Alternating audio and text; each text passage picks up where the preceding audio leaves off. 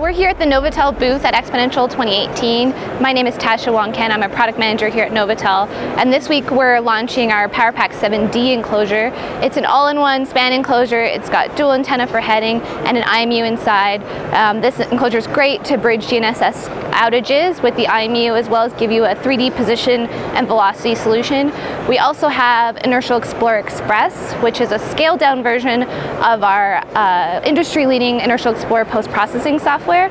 And that's going to give you the same features and functionality as Inertial Explorer, but for small area applications, so up to five kilometer radius within your project. Um, the third thing we have is uh, redesigned and relaunching our 7600 receiver.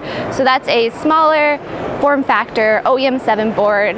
You've got multi-frequency, multi-constellations, uh, very robust form factor for UAVs and uh, small platform applications.